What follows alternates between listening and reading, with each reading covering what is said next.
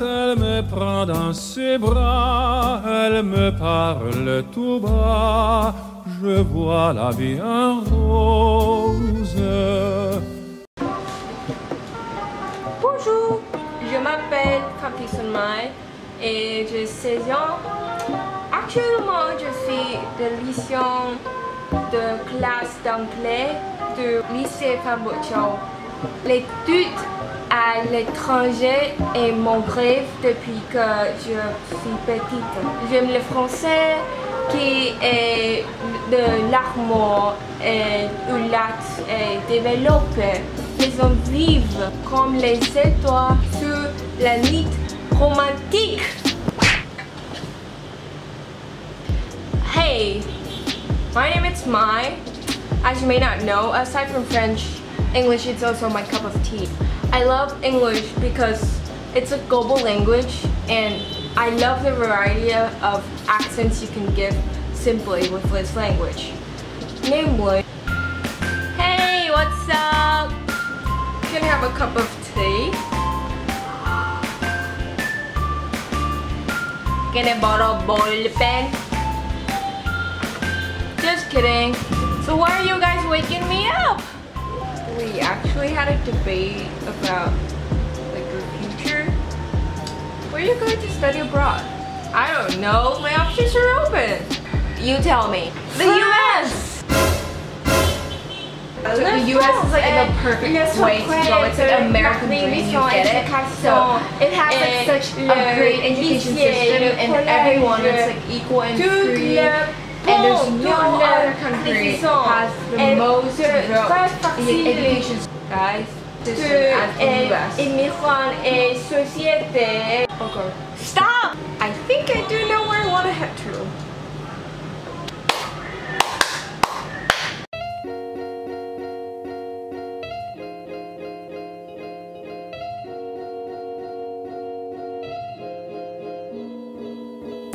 A bilingual country of both English and French.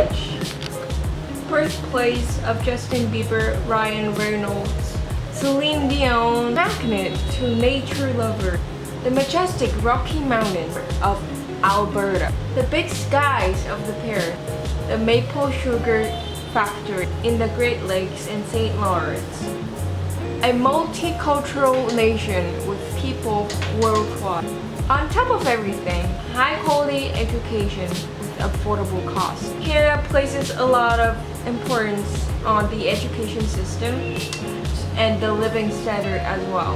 Canada is also a very friendly and safe country with low crime rates, great student benefits, making studying in Canada a great choice for students who are uneasy about personal safety while studying abroad. Another rather personal reason that I choose Canada as an ideal place to study abroad is because of the film The Witch.